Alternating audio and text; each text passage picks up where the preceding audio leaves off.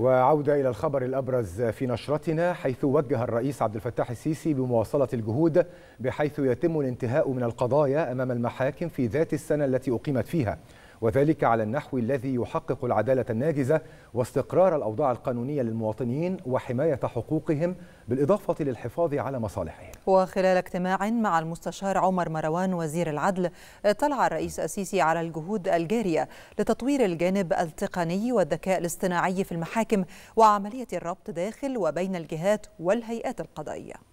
اجتمع السيد الرئيس عبد الفتاح السيسي مع المستشار عمر مروان وزير العدل. وصرح المتحدث الرسمي باسم رئاسة الجمهورية أن السيد الرئيس اطلع خلال الاجتماع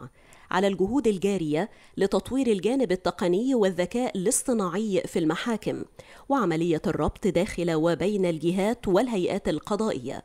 وذلك في إطار تعزيز استخدام أحدث الوسائل التكنولوجية في منظومة عمل المحاكم لتحقيق سرعة الأداء خلال النظر في القضايا. وفي إطار الجهود المكثفة لسرعة إنجاز قضايا المواطنين المطروحة بالمحاكم في إطار التطوير الشامل لمنظومة التقاضي بالدولة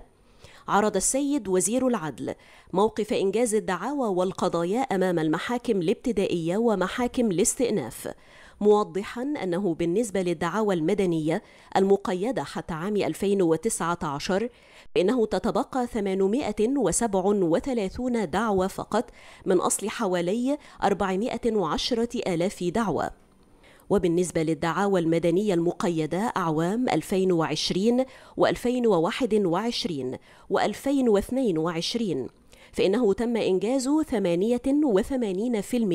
من إجمالي حوالي مليون ونصف دعوى وفيما يتعلق بدعاوى منازعات الأسرة فإنه تتبقى أربع دعاوى فقط من حوالي 170 ألف دعوى مقيدة حتى عام 2020 في حين تم إنجاز 98.4% من الدعاوى المقيدة عامي 2021 و2022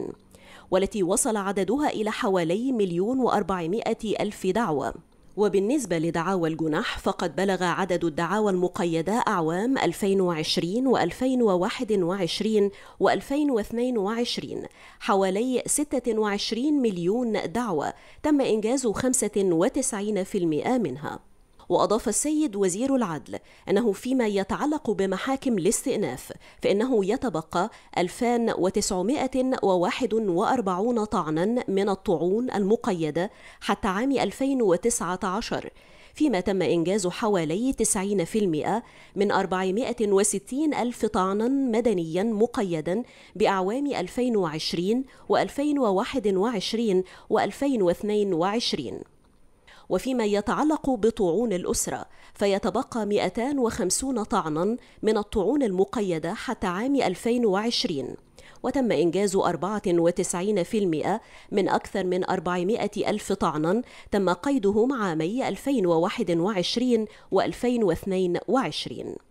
وأوضح المتحدث الرسمي أن السيد الرئيس توجه بالشكر والتقدير لقضاة المحاكم الابتدائية والاستئناف والنقد على الأداء المتميز والجهد المقدر الذي ساهم في تحقيق طفرة نوعية في سرعة إنجاز القضايا والتغلب على التحديات الكبيرة التي كانت سائدة في هذا الصدد مما يشكل صورة ذهنية جديدة وانطباعا سليما عن منظومة العدالة في مصر. موجها في هذا الصدد بمواصلة الجهد بحيث يتم الانتهاء من القضايا أمام المحاكم في ذات السنة التي أقيمت فيها على النحو الذي يحقق العدالة الناجزة واستقرار الأوضاع القانونية للمواطنين وحماية حقوقهم والحفاظ على مصالحهم.